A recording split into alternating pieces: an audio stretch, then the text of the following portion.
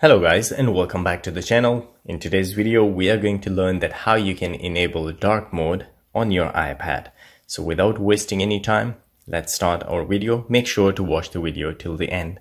First thing you need to do is to go to the settings, just scroll down and where you will find display in brightness just under the general settings.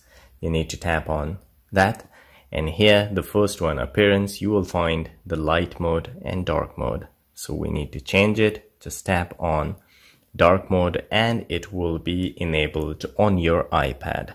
And if you enable the automatic one so that one will work automatically. As you can see it changes it into light mode as well. But if you don't want to enable this one just enable it from here and dark mode will be enabled on your iPad. So guys, if you like the video, don't forget to subscribe for more videos like these. I will see you again in the next video. Till then, take care.